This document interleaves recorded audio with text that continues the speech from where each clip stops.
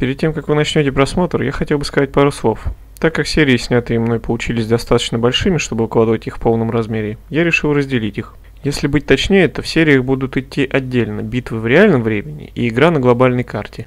Всем удачного дня и приятного просмотра. Что ж, здравствуйте, дорогие друзья, с вами снова Шустрый, и сегодня мы с вами попробуем победить эту несметную армию. Играем мы за саксов. Это большая компания. Что ж, э, по мере того, как мы будем воевать, я буду постепенно рассказывать вам о том, что я сейчас делаю, и, соответственно, какое место я сейчас занимаю в мировой карте. Ну что ж, бой, скорее всего, займет у нас э, достаточно большой промежуток времени. Так, собачек мы пока уводим обратно. У меня сейчас в подчинении около три армии. Две это как бы мои союзники. Ну, то есть мои военно-начальники другие.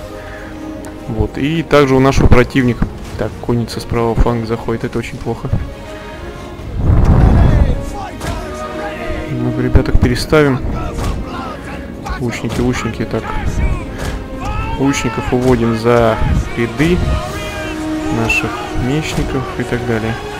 В это время наша вторая армия постепенно двигается к нам все ближе и ближе. Так, все, мы заняли оборонительные рубежи. Я, конечно, правый фланг у меня слабоватый. Ну ничего. В принципе, там тоже вот эти вот ребятки посильнее, конечно, моих будут. Так что надо укреплять правый фланг срочно. Сейчас мы их копеносцами усилим. Пошла жара. Твою-то дивизию. Ладно. По левому флангу мы пока в это время будем обходить. Обходить мы будем.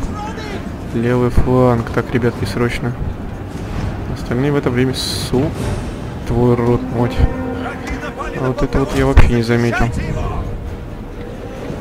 Быстро, быстро, быстро перегруппировываемся и ставим ряды. Хер с ним в атаку. Да, врагов здесь собралась тоже армия огромная, как бы. Построиться, построиться бегом, ребята, ребята, стройтесь. Быстрее мы построимся, тем медленнее они войдут в наши ряды. Болюшки наносят нашим наемникам. Ладно, сражаемся. Посмотрим, что дальше будет. Вот это замес. Э, бьемся мы с лонгбардами. Куда вы, сука, побежали? Собак на них. Бегом. И добавляем собачкам к нашим отряд скандинавских стрелков и саксонских копейщиков. Отлично. А битва тем временем продолжается. На левом фланге мы обходим. Продолжаем ходить. Мы продолжаем. Нам надо сейчас по-хорошему либо ударить им в тыл, либо ударить им во фланг. Можно сделать одно и то же, в принципе. Наши люди бегут, спасая свою шкуру. Половина армии ударить в тыл, половина в фланг. Так, бьем во фланг сразу, я думаю. В принципе, здесь одни ущники.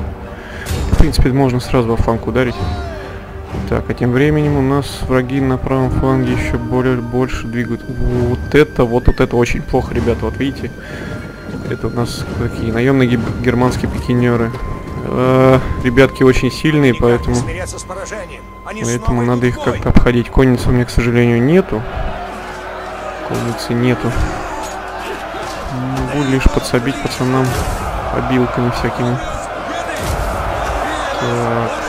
Продолжаем, продолжаем сражаться, ребята. Мы должны победить их. Вот, кстати, э, сейчас я вот с ними сражаюсь. А, около 10 ходов назад я уже порабощал. То есть я сделал это государство данником своим.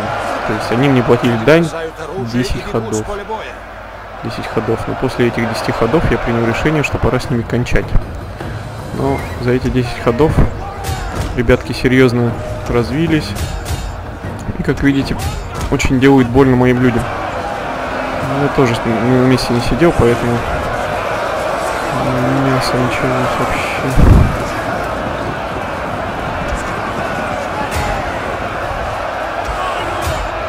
давай, давай, давай. Вот эти ущенки, я не знаю, что с ними делать. Ужасное мясо у нас здесь творится. Правый фланг бегом. Так, а вот здесь вот я попал в саму ловушку свою же. Я послал ребят своих на фланг. А по итогу они сейчас попадут в засаду. С того же тыла. Хотя нет, там наши стоят, смотрите. Можно их отогнать, попробовать. Стрелки, они у них стоят сейчас, у вражеских стрелков стоит дистанционная атака, поэтому они стараются держать дистанцию. Чем дальше, тем лучше. Там, в принципе, здесь лучники тоже. Так, что у нас творится? Что у нас творится? Собак у нас больше нет, естественно. Собаки это первая самая уязвимая единица моей армии. Так, ребятки продолжают бежать. Потому что у них здесь дисбаланс сил. Какие-то бабы зверские дерутся, господи боже. А, все печально, все печально, товарищи. Попробуем отвести один отряд и ударить им во фланг. Потому что сейчас эти пикинеры зарежут, я не знаю, очень много моих людей. Потому что очень плохо, все очень плохо, ребятки. Нам нельзя сейчас проиграть. Это будет вообще просто превосходно для наших врагов. Тогда они пойдут на нашу главную столицу обходим, обходим, продолжаем отход. Давайте, ёк ваш мать. Так. Не достанет. В принципе, можем здесь кого-нибудь напугать. Ну. ну. Так, все, мы зашли им в тыл. Где у нас пикинеры-то? Очень печально, конечно, что пикинеров прикрывает в это время их Войны с дубинами. Первый раз такие. Ну да ладно. У них еще лучше. Отлично. Надо, надо что-то делать, ребятки, надо что-то делать. Так, в это время у нас левый фланг, кажется, практически победили мы всех на левом фланге. Да, добиваем их. Давайте, манки, давайте, вы, господи, вы воины Одина. Что вы этих сынков не можете победить?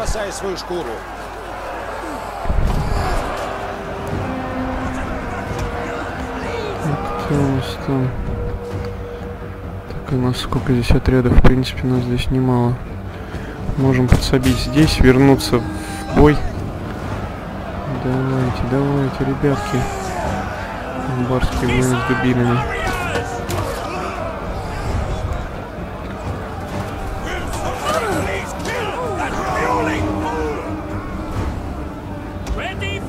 Так, да, левый фланг у нас освобожден. Да хватит ныть. Куда вы все бежите? Как девки. Один бы не одобрил. Господи боже. Так, кажется, у них пикинеры побежали, поэтому нужно усилить атаку здесь. В принципе, наших здесь тоже мало осталось. Вражеский полководец убит. Это превосходно, ребята. Так, мы почти, мы по, я не знаю, чисто по статистике мы сейчас проигрываем бой, но я думаю, все сейчас перевернется. Конечно, огромные потери, как с той, так и с моей стороны. Просто мясо, ужасное мясо. Так. Помогаем нашим ребяткам на правом фланге. О, твою-то мать, а кто? Кто? Кто у нас погиб? Только не говорите, что мой главный как я такой лошара оставил здесь?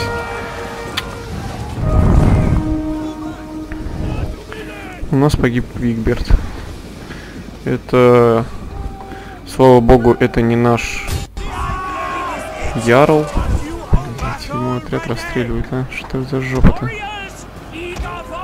Люди сломлены и пытаются спасти Ладно, продолжать. Пусть они преследуют их, потому что здесь другого выхода нет. Если мы повернемся обратно, они нас расстреляют. Осталось, конечно, как с той, так и с моей стороны вообще мало народу. Ой, пикинеры вернулись бой. Это плохо. Пикинеры вернулись в бой. Очень все печально, товарищи и друзья.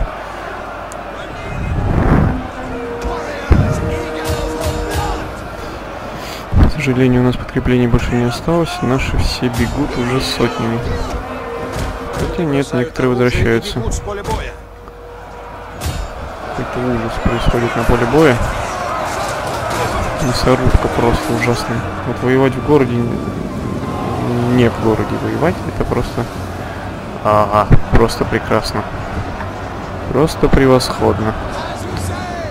Все складывается не очень в нашу пользу. Сейчас, если еще их неучники подойдут, будет вообще все печально. Ну, в принципе, они далеко не уходили. Попробовать отогнать их не. Попробовать генерала обилку использовать, что ли. Сокрушимость и устрашение. Причина них, причина них. У нас убежал даже наш второй, второй наш предводитель войска. У него огромная была поддержка в Сенате. Сенат, что говорю. В общем, был отличный мужик. Походу его больше нет. Кажется, все вообще не в нашу пользу пошло. Короче, переходим все на ближний бой. Ну-ка в задницу стрелять, а то все равно толку нет. Давай, мужики, ну господи, ну что вы как дети малые. Главное, чтобы Гевис не погиб. Ой.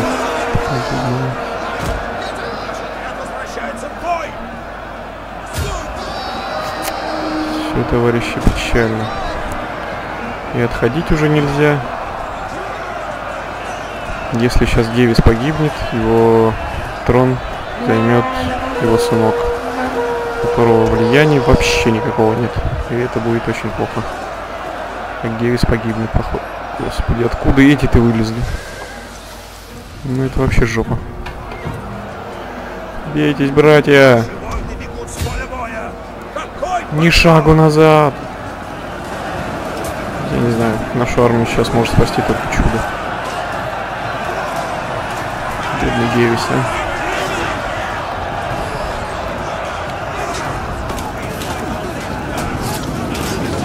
Все, задница. Просто мясо. Дикое мясо.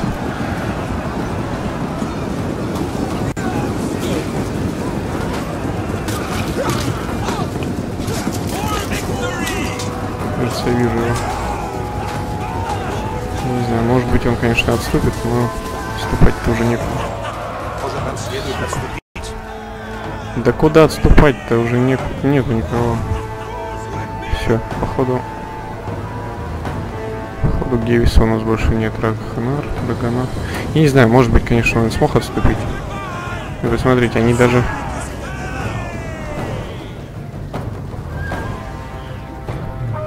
Так, где у меня остальные войска тогда? Осталось-то у меня два небитых калеки. Германский отряд это наемники из тех же самых ломбардов. Когда он был данником, у меня это государство, я набирал у них добровольцев. Отряд с собаками. О, еще собаки даже целые, видите. Два даже отряда. Нужно собраться силами. Я не думаю, что уже что-то возможно исправить, конечно, такими силами, но... Их просто немерено осталось. Я не знаю, откуда они такую армию набрали.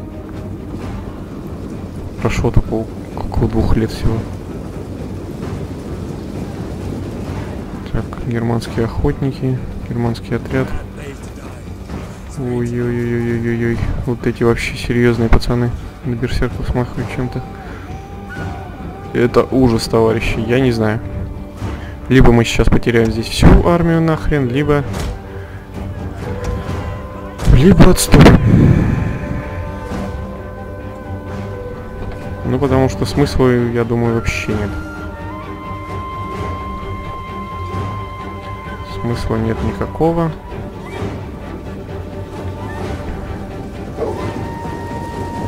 Следующим шагом моих противников будет, я думаю, мой город. Я и без того в маленькой деревне, я думаю, долго не продержится под их натиском, тем более все войско, которое у меня было, я привел под их город. Это просто печалька. Смотрите, они даже атаковать меня не хотят. Иван, будь благоразумней. Ты должен отвести свои войска. Щеглы убежали. Ну, это, скорее всего, просто перегруппировка войск. Эти все мои армии, все, что я накопил за столь долгое время, погибло на этом поле боя. Это даже не поле боя, это мясорубка какая-то была. Я не знаю, какой перевес в силах там был, но, по-моему, около двух-трех тысяч. Плюсом на их стороне.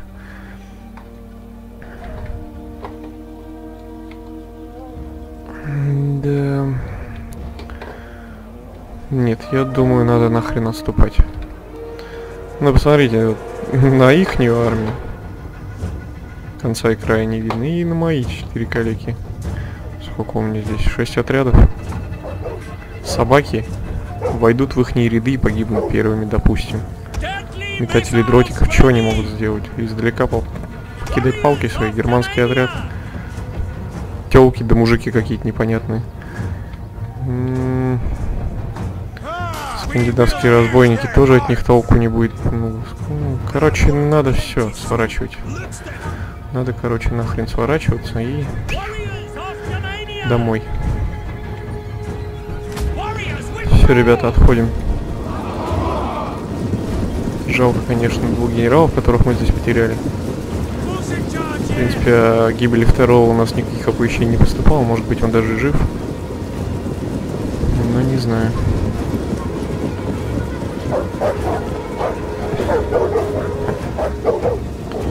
Домой, сынки, домой.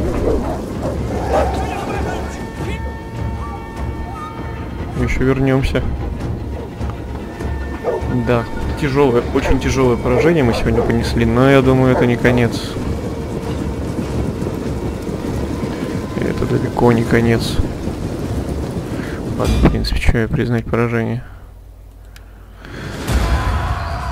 Даже сохраню повтор этого мяса.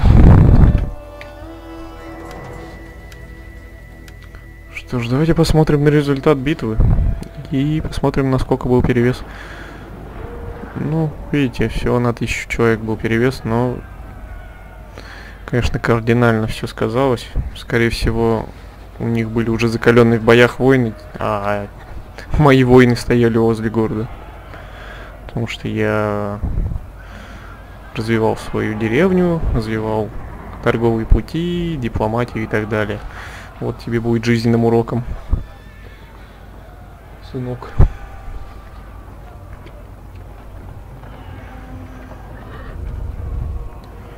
Вестники Геймера. Ну хоть Гевис остался живой. То хорошо. Хотя не знаю, каким образом он остался живым. Я не, представляю даже. Вот чем я черт дернул в прошлый раз починить их, а? Вот сжег бы я нахрен их этих лангбардов и все. Каких бы проблем не было. Иван Милосердный. Всем спасибо за просмотр, а серия номер два выйдет уже скоро. Удачи!